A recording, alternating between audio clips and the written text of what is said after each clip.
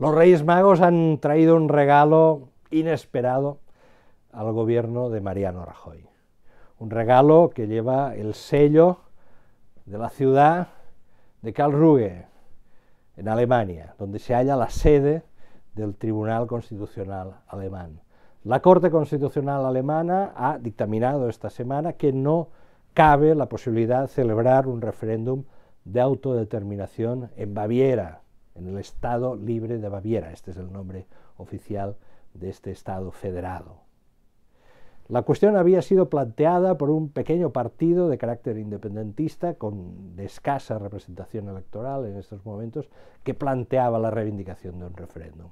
La Corte Constitucional les ha dicho que no, que eso no cabe en la Constitución alemana, puesto que la soberanía nacional alemana es una soberanía compartida por todo el pueblo alemán y ningún Estado federado, ningún Lander puede disponer por su cuenta de la Constitución. Es una resolución importante, no porque haya en estos momentos un problema político importante en Baviera, insisto, el partido que ha planteado esto es, es un partido en estos momentos irrelevante, pero sí es cierto que en Baviera en la historia de Baviera ha habido momentos en que la hipótesis de la independencia se ha planteado. Podríamos decir que estamos ante una resolución de carácter preventivo, cuyos razonamientos encajan casi como anillo al dedo con las resoluciones del Tribunal Constitucional Español y con las tesis del gobierno español respecto a la cuestión de Cataluña. Es una resolución, insisto, importante que debe ser tenida en cuenta no puede ser ignorada, ni en Madrid ni en Barcelona. Ahora bien, pienso que debe ser interpretada quizás desde una perspectiva un poco más amplia.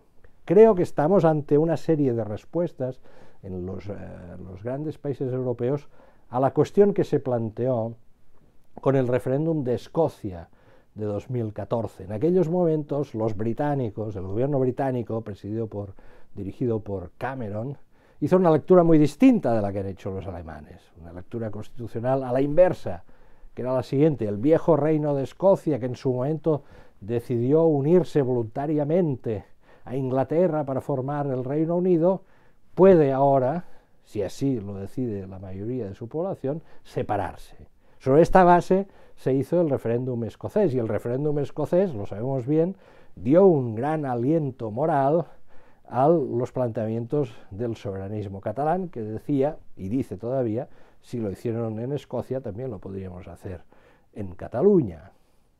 El planteamiento del Tribunal Constitucional alemán intercepta este razonamiento e introduce otra referencia. Alemania. Francia ha optado por otra estrategia, difuminar la cuestión regional, que siempre en Francia ha tenido poca poca fuerza, sobre la base de una reorganización de las regiones, una fusión entre territorios que si observamos el mapa vemos que no permite que nadie hoy en Francia, excepto en la isla de Córcega, excepto en la isla de Córcega, pueda levantar una bandera de carácter histórico. Las regiones en Francia tienen un carácter puramente funcional. Y en Italia también se plantea la cuestión la reciente reforma constitucional derrotada en referéndum planteaba, planteaba, entre otros puntos, la disminución del poder de las regiones y la constitución italiana difícilmente, difícilmente aceptaría, encajaría con un referéndum de autodeterminación en alguna de las regiones de Italia. Por lo tanto, estamos ante una secuencia reactiva de los grandes estados nacionales europeos ante el acontecimiento de Escocia hace poco más de dos años, que en tiempo histórico es poco. Ahora bien, la cuestión de Baviera y la cuestión de Cataluña plantea, plantea algunas diferencias políticas. La doctrina constitucional puede ser la misma, pero hay una diferencia. En Baviera el partido que plantea el partido que planteaba esta cuestión es un partido hoy insignificante, en Cataluña quien defiende la celebración de un referéndum, quienes defienden ese referéndum, suponen en estos momentos, en estos momentos, más de la mitad del Parlamento de Cataluña.